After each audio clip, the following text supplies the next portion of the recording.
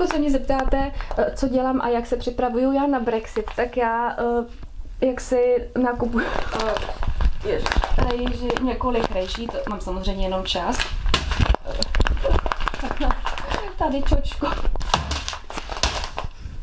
Prostě, abych to řekla jednoduše, nakupuju potraviny, které dlouho vydrží. Kdyby čirou náhodou někomu ruplo, a rozhodl se, že eh, zastaví v Kale pro větší celní kontroly eh, skutečně všechny dodávky jídla do Británie. No a protože samozřejmě díky velkolepé evropské spolupráci, tak to není tak, jako že každá země by měla být soběstačná a to, co je pro ní přirozené, tak ty lokální produkty si pěstovat, ale všichni pořád obchodujeme čileno, což je na jednu stranu dobře, ale na druhou stranu pak, když něco přijde, no tak se dějou divné věci.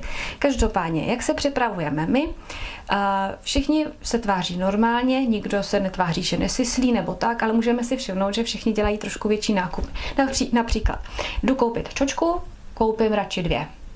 Jdu koupit rejži, koupím dvě. Jdu koupit těstoviny, koupím dvoje. Když někdo kupuje konzervy z masa, tak kupuje několikery. Prostě, jak to říct, nikdo nesyslíme, nemyslíme si, že se něco stane, ale uh, po Brexitu nebudeme muset delší dobu chodit určitý potraviny nakupovat. Což bude výhoda, budu mít dost času na další nějaký jiný věci. A sem tam si dojdu, pokud bude, nakoupit nějakou tu mrkvičku a rajče, a protože už, protože tady je celoročně zelená tráva, tak taky si dojdu na trávu a tak. A myslím, že jsme všichni připraveni na Brexit a hotovo 20 a, a tak. Tak, tak jo, mějte se hezky. Tenhle ten týden vás, mám pro vás ale zajímavý rozhovor ohledně Brexitu.